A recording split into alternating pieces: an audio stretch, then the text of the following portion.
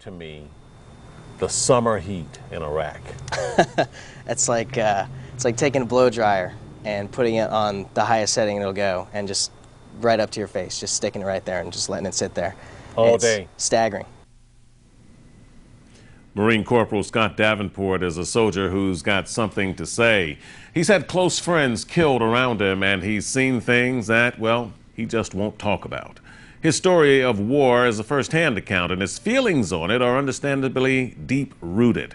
Here now is the second part of my one-on-one conversation with Corporal Davenport, a soldier's story. As best you can recall, tell me about the most nightmarish experience that happened while you were in the theater.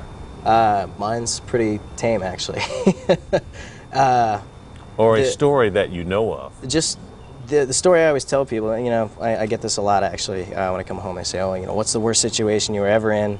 You know, where, when were you the most scared? And uh, mine, I, I think it's dumb now looking back on it, but uh, we had gone out in the middle of the city in the middle of the night, a very bad part of town, uh, to find, you know, possibly some bad guys and, uh, and grab a weapons cache or, or, you know, just find out what we could. And um, the operation took all night. and we, uh, you know, like I said, So you're patrolling the grounds in Pretty much. darkness, not knowing what's around the next corner and who might be lurking with a bigger gun than yours or with a bomb. essentially, yeah. Yeah, it's So kind of the do? way it works. What do you do? Um, like I said, just take it a, a step at a time, and you you know you just look around, be careful, and you know you trust that the guys you're with are going to have their eyes open too. And Are you a uh, religious man? Uh, yes. Say Yes, your prayers over there? Yes, absolutely, every night. I think uh, that's brought me back, brought me out of close calls more than once. Absolutely. when the men and women uh, in uniform are walking the streets, you've been to Fallujah, you've been to Ramadi when it was hot, uh, the hottest perhaps. Um, as you were walking those streets, patrolling those uh, those zones, were there days when you just didn't know if you'd come back out alive? Absolutely. How do you deal with that on a daily basis? one step at a time. Um, you know,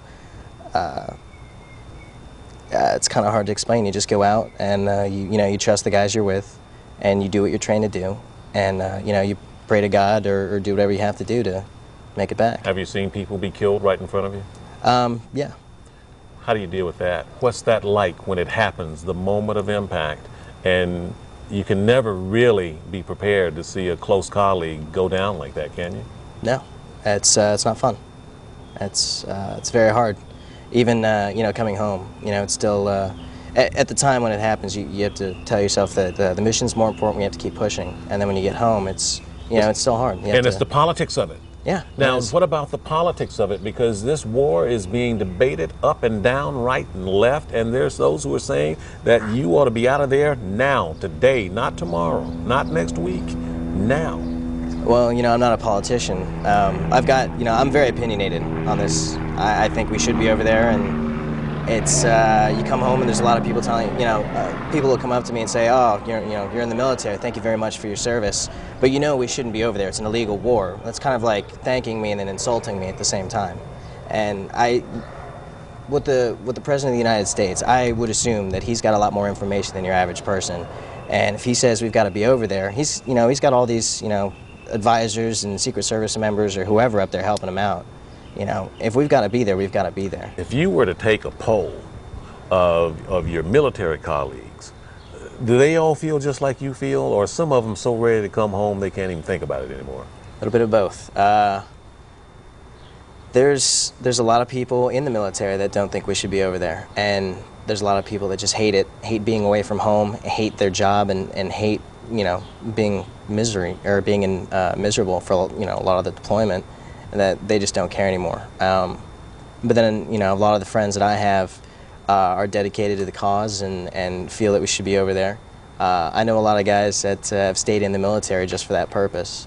Um, just just in my company alone, we had a, a 50% retention, and that that, that kind of tells you, uh, you know, after the first term, how many people wanted to see this through to the end Yeah. and wanted to make sure it was done right. What about the Iraqi civilians? Could, have you met any Iraqi civilians that you trust? Absolutely, yeah. Uh, I worked with uh, Iraqi police and Iraqi army every day, and I had to trust them, whether I wanted to or not. Is the Iraqi army up to speed? So much has been said about when they can get up to speed so you can come home. When uh, Be honest where, here. Oh, absolutely. When I was working, um, when we when we got there uh, to Ramadi, uh, this past deployment, uh, the Iraqi army was not up to speed. The Iraqi police force there were, virtually was none, and over nine months we built them up and we trained them, and after nine months these guys were not kidding around, running out and doing missions and, and coordinating and doing stuff on their own without our help. Now, we were there um, full time, but we weren't running as many missions out because they were taking over. And we said, you know, no matter what you need, we're here to support you. If you need, you know, medical support, you know, uh, casualty evacuation, anything you need, we're here for you. And you know, they they were really taking over. They were doing their own thing. You are a highly trained, highly classified material of war. You're an instrument to protect the American citizenry. Um, do you wear that? I mean, certainly that's got to make you feel proud. But as you're in the war zone, do you have to carry yourself as though I'm elite? I know that I'm trained to do this and I, I feel qualified to be here? Um, in in a combat zone, no, you just kind of uh, you go and do your job. You do what you're trained to do. No one's everyone out there is, is trying to do their job, and everybody's equal. And you know, everybody. A lot of the times, yeah, we work with other branches all the time, and so, you know, especially back here, there's a little bit of uh, I don't know the word I'm looking for. A little bit of uh, you know strife in between the the branches, but over there, everybody works hand in hand, and you know, we're just trying to get the job done. That said, when do you think will be ample enough time to bring the boys and, and the girls home? that's it's really hard to say. Um, that's I, I may not really uh, know enough about you know the the broad spectrum of things to answer that completely, but you know another year or two. Another in, year in or a, two? In a personal opinion, if if you can get people, you know the the general population over there to get behind you to support you and say, yeah, we want the insurgents, we want Al Qaeda out of Iraq, out of our cities. You know, th- this is bad. This is bad for us. If you can get the support of the people, you can accomplish anything over there. You really can.